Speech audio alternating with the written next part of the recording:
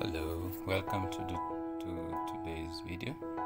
I'm going to show you how to add uh, users and delete users using the terminal. This is a series of uh, approximately five videos or less, and this is the part one. So feel free to learn and share. So we go to the terminal as usual, maximize the window,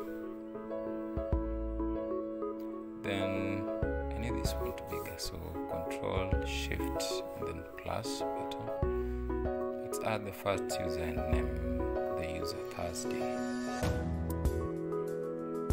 But now you see we cannot do this because we need uh, super user privileges.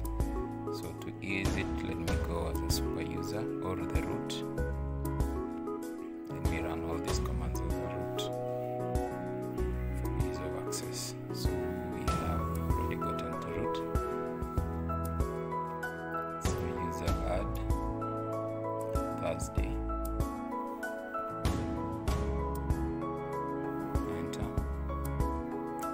Let's add another user Wednesday. User add Wednesday.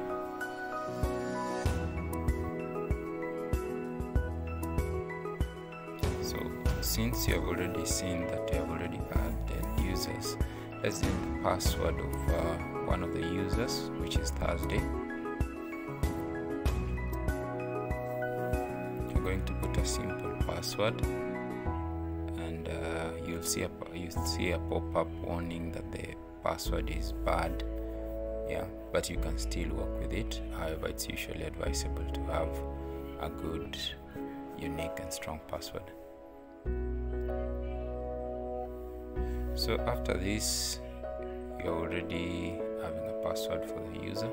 So let's go to the home directory where all the users are at this time. Long listing. So you can see we have Thursday and Wednesday as well. Yeah. So looking at that, we have Thursday there and Wednesday down there. And also the time they were created and the day they were created. So let's delete one of the users. Let me delete today. Today.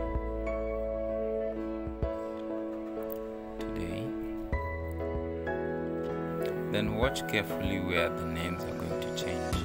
So once you have deleted it, you see it turns to 1005, 1005, showing that it doesn't have a user. So trying to change the password, it's impossible.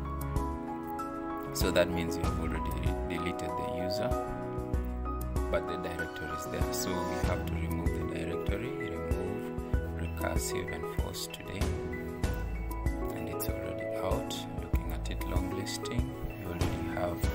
user out and all the directories out. So we can exit the super user, and it takes us to the normal shell. So that marks the end of our video today. Thanks for watching. Please share and subscribe. And give us comments on what you want us to do next. Have a nice time and ciao.